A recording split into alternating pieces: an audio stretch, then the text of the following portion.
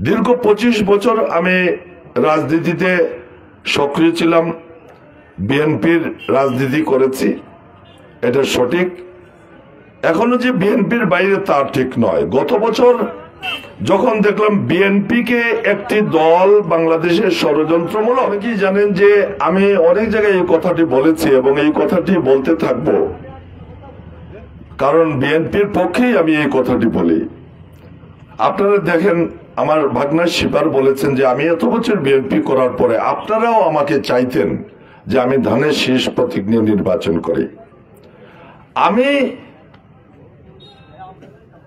যখন দানের শেষ পাই নাই, সুলতান মনসুরের মতো লোকের বিরুদ্ধে যিনি হাইজ্যাক পার্টির সদস্য বিএনপিকে হাইজ্যাক করেছেন, আমি বলেছিলাম যে, ইনাকে ভোট দিয়েন না। এরা বিএনপিকে ষড়যন্ত্রমূলক মানে দখল করেছে। আমার কথাটার কিন্তু সত্যতা মিলেছে, তিন মাস সময় লেগেছে। তিন মাস পরে যে লোক বেগম খালেদা জিয়াকে কালকেই জেল থেকে বের করবে, ওয়াদা দিল। এই লোক তিন মাসের মধ্যে এই দলের প্রধান শহীদ রাষ্ট্রপতি জিয়াউর রহমানকে অকুত্ত ভাষায় কুলাউড়ার ডাক বাংলোয় এবং সংসদে দাঁড়িয়ে আপনার গালাগালি করল। এই লোকটার চরিত্র, এটা আপনার, আপনারা বিএনপি যুবদল, ছাত্রদল না বুঝলেও আল্লাহ পাক রাব্বুল আলমিন আমাকে বুঝারে সেই ক্ষমতা দিয়েছে।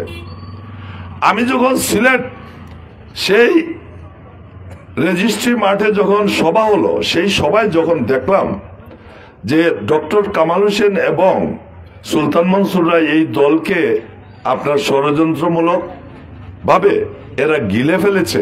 আমি সেইখানে বসে সিদ্ধান্ত নিয়ে সরাসরি ঢাকায় চলে গেলাম।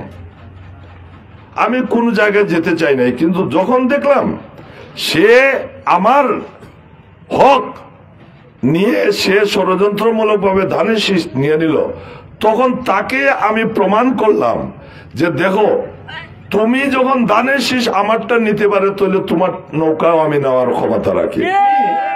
এই যে সুলতান মনসুর এই খাম করায় কিন্তু আমি নৌকা নিছি আমি বুঝাইতাম পারছি না আমি কিন্তু আওয়ামী লীগের যুগ দিয়ে নাই কিন্তু তাকে চ্যালেঞ্জ করে আমি বলেছি দেখো তুমি এইটা করতে পারো আমি তোমার প্রতীক নিতে পারি।